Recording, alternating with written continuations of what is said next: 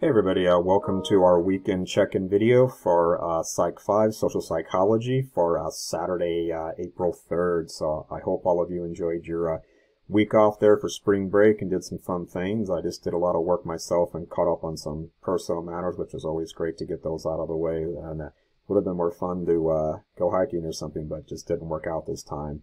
But regardless, uh, let's just go over a few items there that we uh, need to cover and some reminders about upcoming assignments. Uh, first of all, uh, this uh, coming week here, you'll have your uh, first chapter in this next unit there, chapter 9. Its discussion is due on Friday, April 9th. So make sure you've got that all done. It's a really great chapter on social influence. It's real classic social psychology stuff, so I hope you enjoy it. Also, this next item here, don't forget that your literature review, the uh, final paper there, is due uh, uh, Monday, April 12th. Uh, you'll find the instructions there underneath Unit 5 on our Canvas course page. So scroll down past Unit 1, 2, 3, 4, 5, and you'll see there the APA Literature Review uh, module, and you'll see the instructions for Part 2 of your paper. When you open up those instructions, please do note at the top I've embedded a uh, instructional video where I walk over what's on the instruction module there and walk through some of the files I've placed in there as well and just kind of tell you some things that you should definitely uh, be careful about when you actually uh, write your paper. So make sure you watch that video there. You'll be glad that you did. Uh, it'll really help you out there. Uh, and you'll also find there underneath the video, I've got an, another embedded file uh, it's a Word file. I also created it as a PDF as well. Either way, there it's an instruction file plus a checklist. You'll see it identified as such there.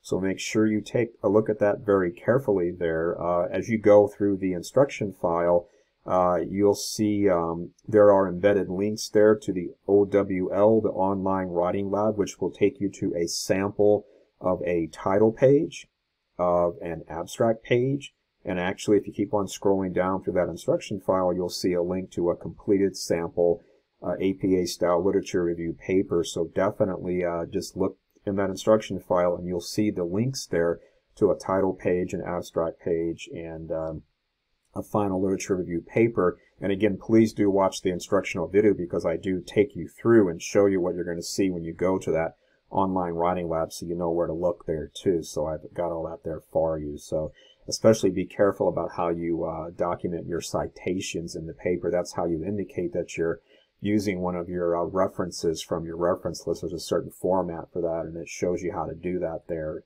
uh, in that online writing lab. And I've also included uh, a link to the library webpage, which also shows you uh, some uh, citation help there for APA style.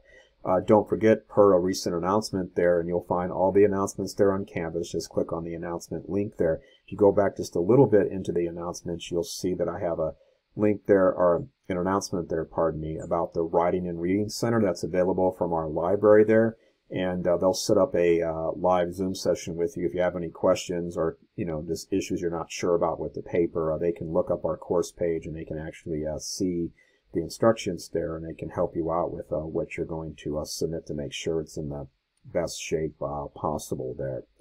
And so do take advantage of that there. It's free too, so uh, but just look for that announcement. You can't miss it. Other than that, uh, hopefully I'll see some of you on Monday in the live session there at 1 p.m. and it'd be great to see some of you there.